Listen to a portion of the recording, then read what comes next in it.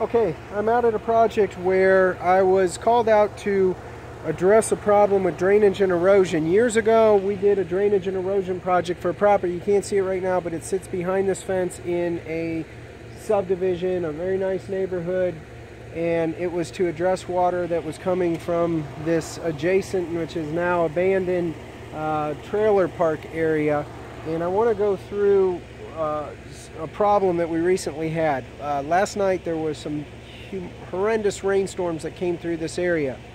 And as a result, they flooded over, it crested over a large drainage swale that we had installed using riprap uh, rock and we had excavated out a very nice swale going down the hillside with the intent of capturing this water. That drainage system has been in place for, uh, I'd say, it's probably close to two years now and it's worked uh, with good results and until now.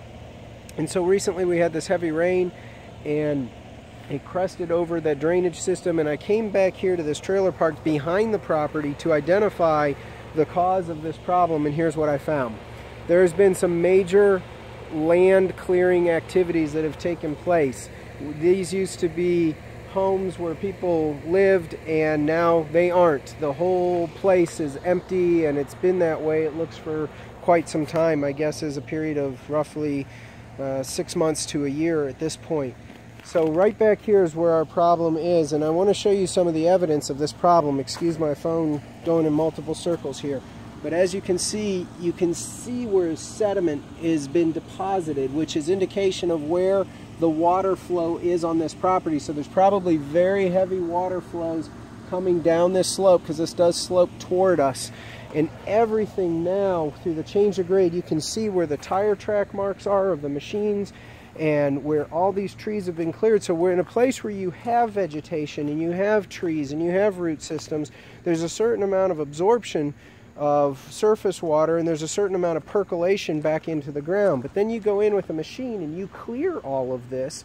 You really create, in Georgia red clay, you create a pretty dense surface that's going to now take this, this area and make it shed or um, distribute this water almost as if it was somewhat impervious because the water could the ground the red clay is not going to hold that much water and the rest of it's just going to distribute across. So where these tire tracks are you can see that there's a large puddles. So there's a substantial amount of water coming from this upper area traveling across the yard and you can even see the evidence of where tractors have gone in and out here basically creating a river that is pointed right at this neighboring property behind us. And so all this water is directed back here and it's just completely overwhelming the drainage system. So a few things to check into and be concerned with is in any type of land clearing activity, there needs to be a land disturbance permit when you're disturbing, I believe it's over 5,000 square feet, which clearly this is well over 5,000 square feet. This is probably several acres of land disturbance.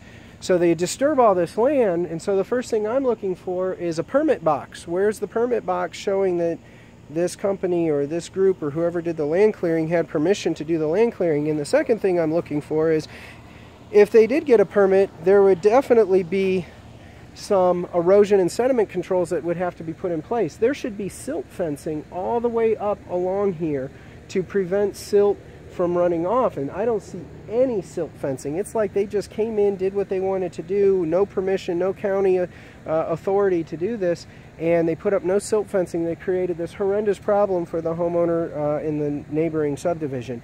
So this is something that's going to be have, have to be taken up with at the county level. There are definitely some calls that need to be made. We can provide a solution and fix it again for the homeowner. But what needs to happen is this property adjacent to it, behind it, needs to have the proper type of silt and sediment and erosion control. And this grade needs to change in a way that does not allow water to flow right into the other homeowner's backyard. So I hope that information is helpful if you're doing any type of land disturbance activities. Uh, generally, as a rule, it's approximately 5,000 square feet. That'll vary from municipality to municipality. Um, but greater than 5,000 square feet, you got to have silt, sediment, and erosion control. Um, we're going to definitely take care of our client on the other side and, and make sure they're fixed up, but we've got to work with the county on this to uh, get some more details and some more information, to hold the people that did this work accountable. Thank you.